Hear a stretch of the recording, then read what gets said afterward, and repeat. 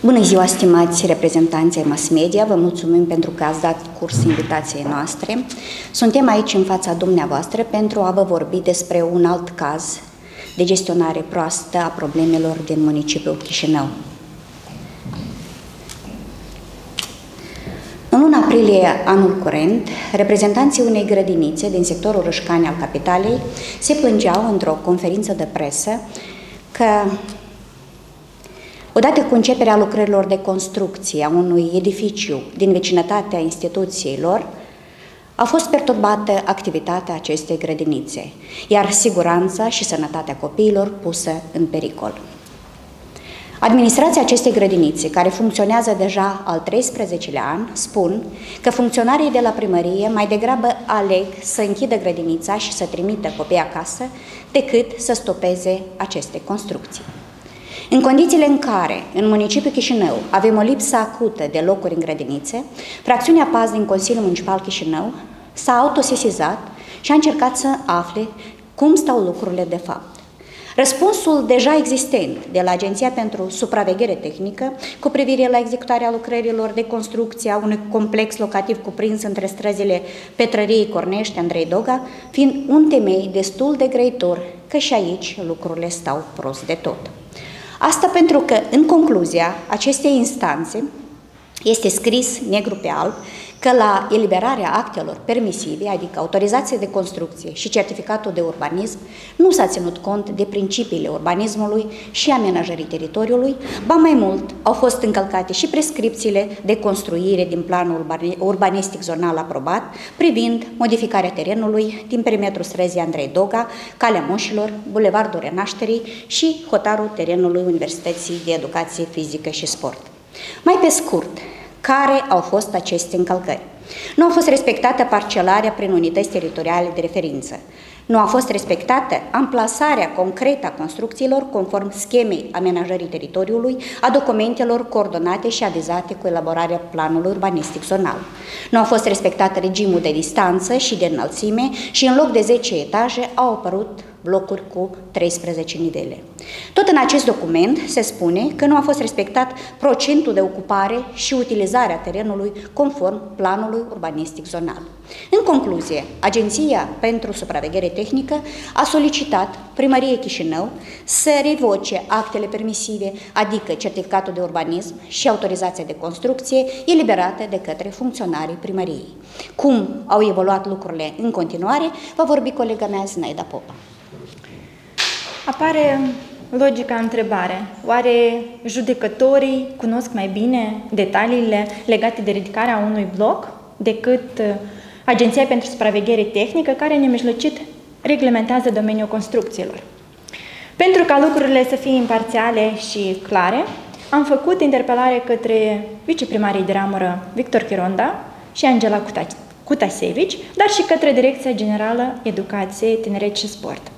Dacă răspunsul din partea viceprimarilor s-a lăsat așteptat, Direcția Generală Educație ne-a anunțat că, deși grădinița, grădina secretă nu este în lista de control al direcției, va efectua un control riguros al acestei instituții.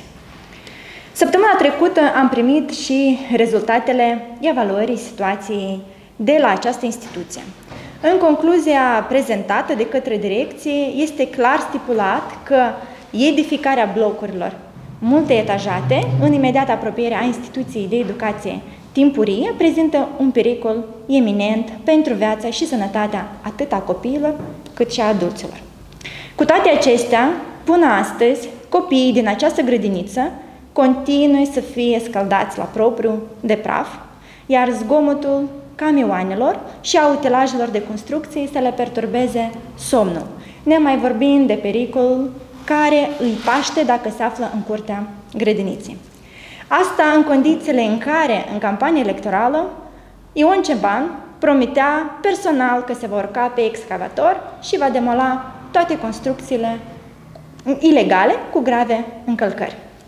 Cu toate acestea, în capitală și astăzi, unele persoane își permit să construiască ce vor și unde vor și rămân nepedepsiți.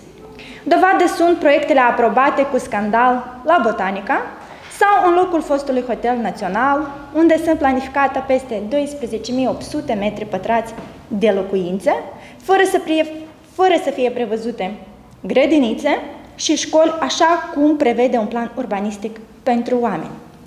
Chiar dacă legea prevede demolarea construcțiilor ilegale, până acum această prevedere a funcționat doar în cazul unor chioșcuri sau garaje ridicate ilegal, pe terenul public sau unor garduri și anexe neînsemnate. Mai mult, până acum autoritățile nu au reușit să demoleze construcțiile nici măcar atunci când ilegalitatea era constatată prin hotărâri judecătorești irrevocabile.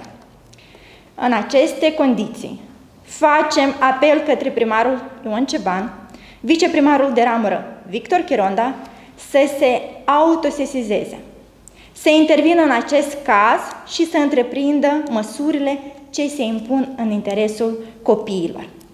De asemenea, cerem primarului de Chișinău să nu mai mușamalizeze proiectele de construcții în care sunt prevăzute grădinițe și școli și să înceteze atacul asupra celor existente. Vă mulțumim! Și dacă aveți întrebări, suntem gata să răspundem.